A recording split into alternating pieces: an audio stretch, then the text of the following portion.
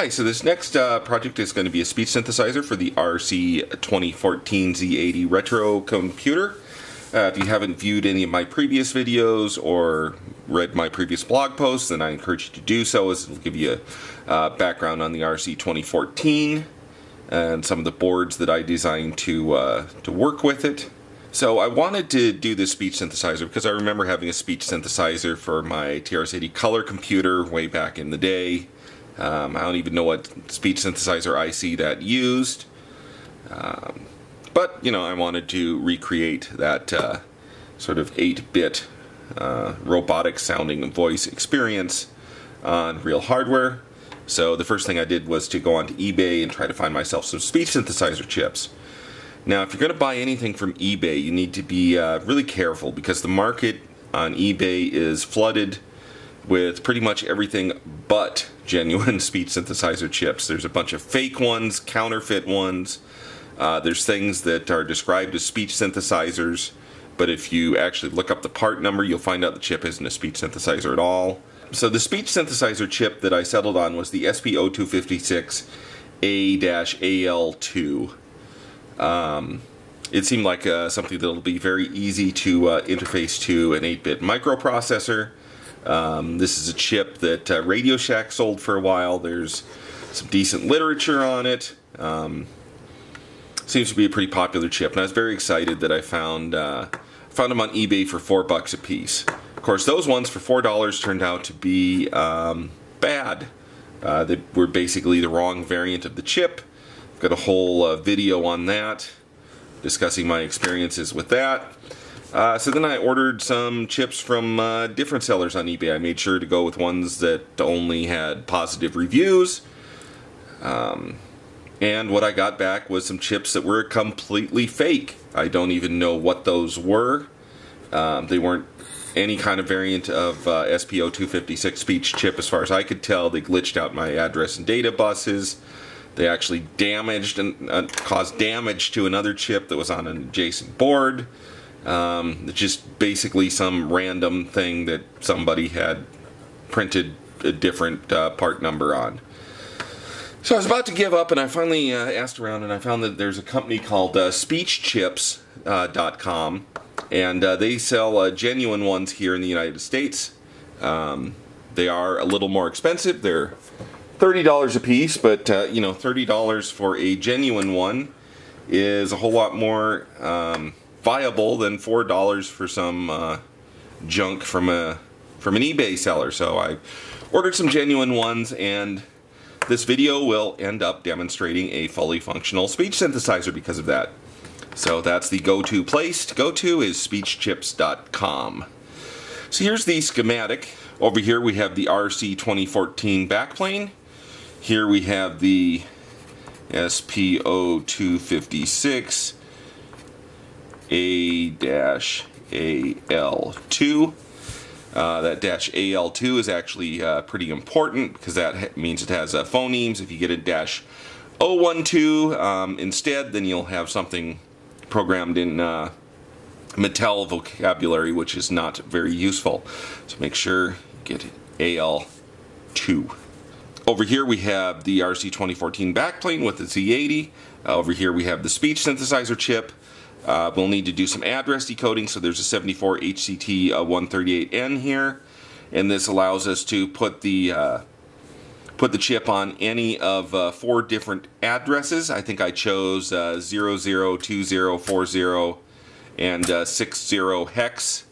So the 138N um, on a write will enable this chip select to the SP0256 and the SP0256 will latch these data lines.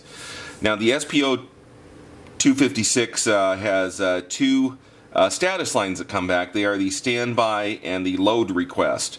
Uh, load request goes low um, when the chip is ready for a new uh, phoneme to be loaded.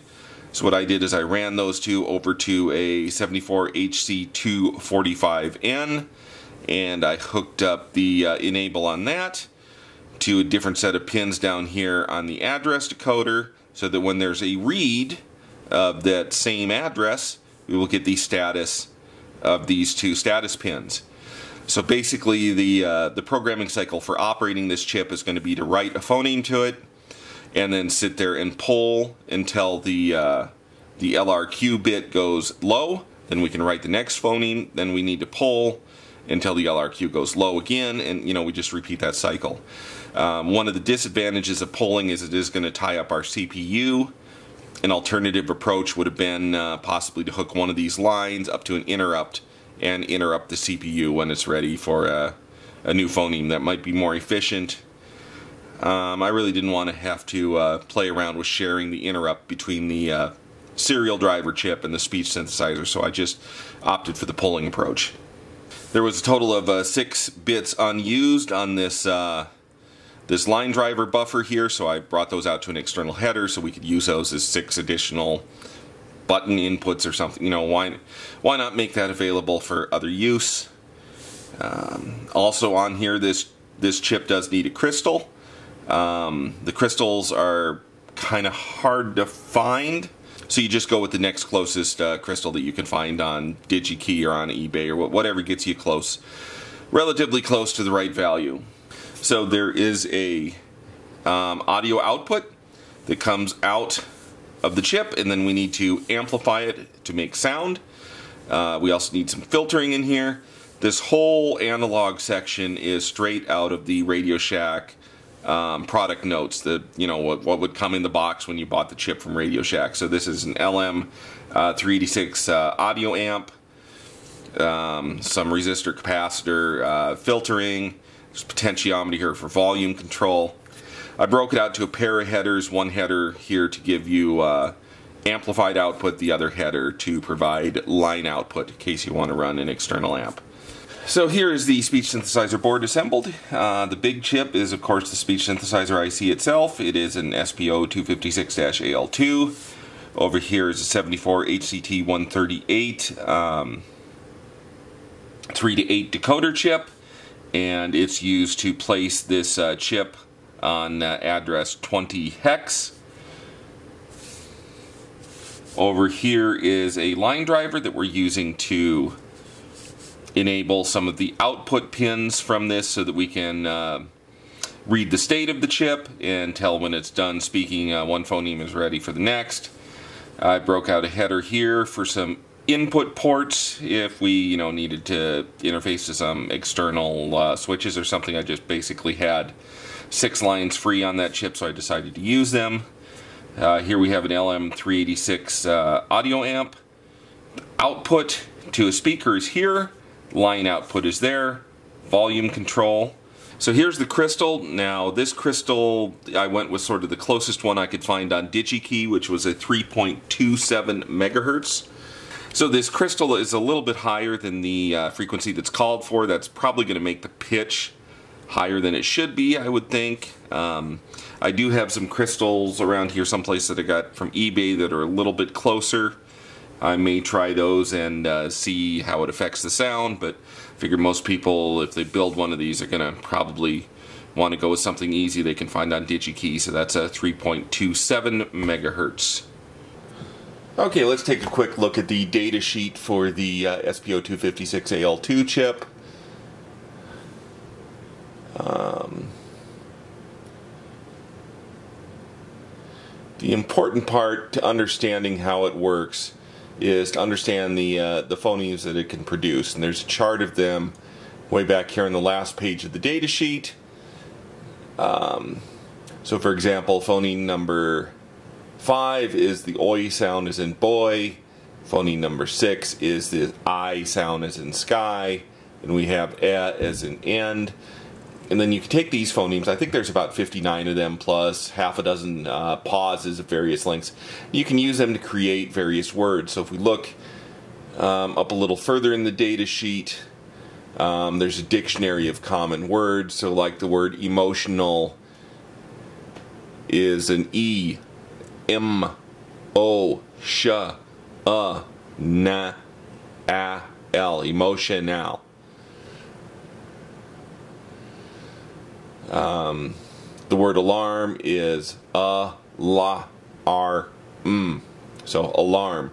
So by stringing these uh, phonemes together like this, you can produce uh, virtually any word in the uh, English uh, dictionary. So we can generate these by program control, and we can generate arbitrary speech from the computer.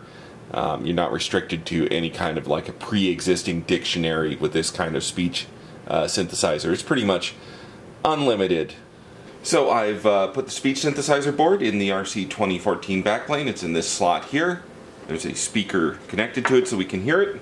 You'll notice on the front here is the, uh, the bus monitor board that I had in one of my previous videos and it will show us on this uh, spot here the various values that are being written to the port on the uh, speech synthesizer so you can see the phonemes as they're written to the chip. Um, I've written a simple demo program that can uh, say three different things. So let's uh, run it. The first it's going to do is it's going to say RC 2014.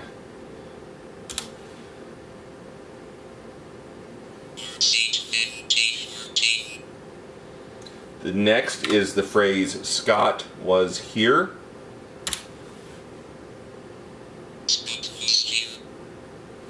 And then finally, I programmed it to uh, recite the song Daisy Bell. That's kind of a traditional demo of uh, speech synthesizers.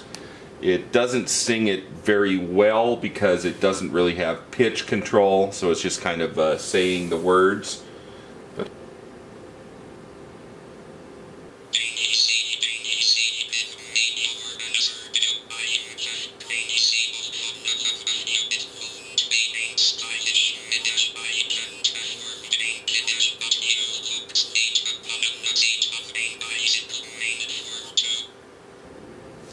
That's it for the demo.